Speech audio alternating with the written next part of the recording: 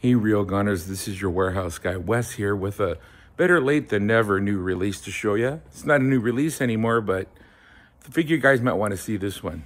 Let's take a look. Well, folks, if you're like me, Halloween stays in your heart a little bit the entire year. Like Al Jourgensen and Ministry once sang, every day is Halloween. And it rings true here as well at Real Gone Music. Let's take a look at a couple of releases that I didn't get a chance to show you earlier last month. First, we're going to start with Monster Sounds and Dance Music, Shock, Terror, Fear, all the latest dances.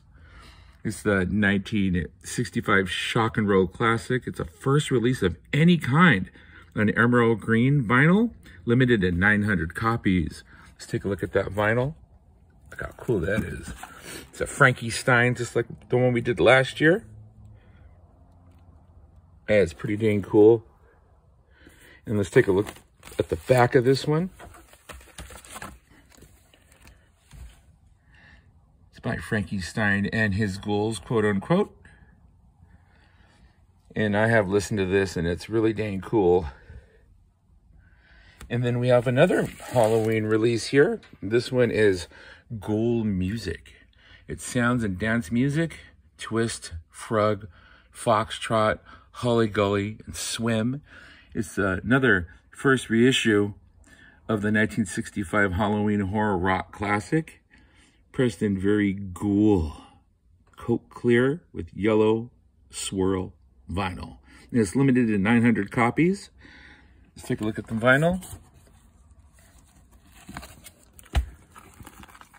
It's yellowy and kind of greeny, but it's very, very Halloweeny. So there's the label. Let's take a look at the back of this one.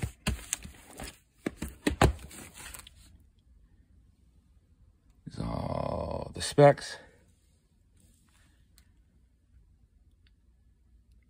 Just take this video as like when you go to Walgreens and after Halloween, you get that candy. It's still sold in the stores and it makes you happy when you see it. So take it from me, these records are really cool. And it's a good keepsake. And it's a way to keep Halloween alive all year long.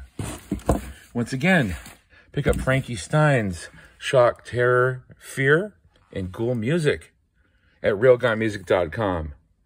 Thanks for watching, everybody. I'll catch you on the next one.